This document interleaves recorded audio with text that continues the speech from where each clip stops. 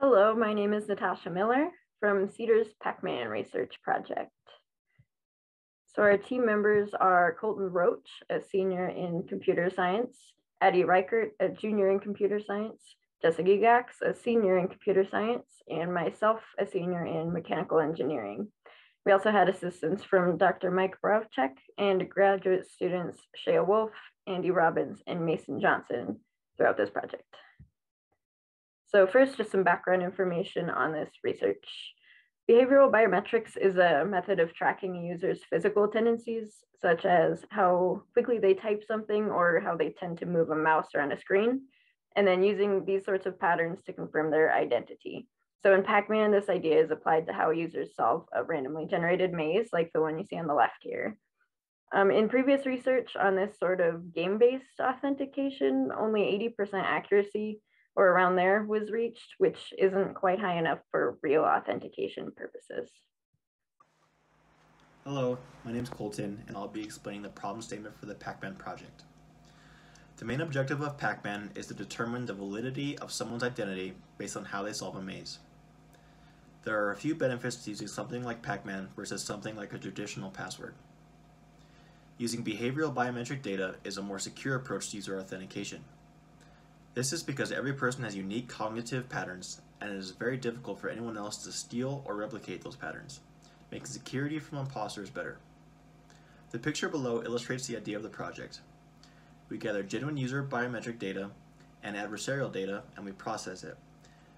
Then, the model is trained and tested using the data. Finally, we can determine the identity of a user based on the model. Hi, I'm Adeline. In terms of the methods for our project, we had the maze collect data from users as they completed it. We would collect their X and Y position as they moved throughout the maze. We would collect the number of wall collisions they'd made up to that point, as well as the number of cumulative actions they had taken up to that point. We would also collect their score at each data point recorded, as well as note the timestamp of each data point. We were able to take this data and combine it into giving us a cross correlation score when compared with every other trial.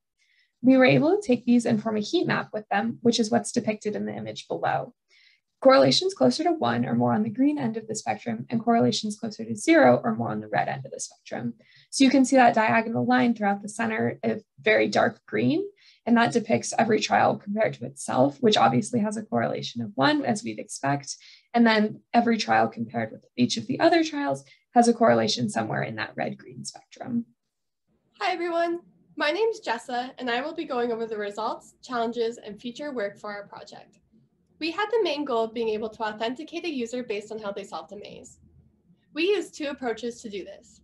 We used a MiniRocket algorithm that had high accuracy, but was very difficult to implement for our project. We also used a cross-correlation method that had some differences between users, but required further testing. This leads us into the challenges.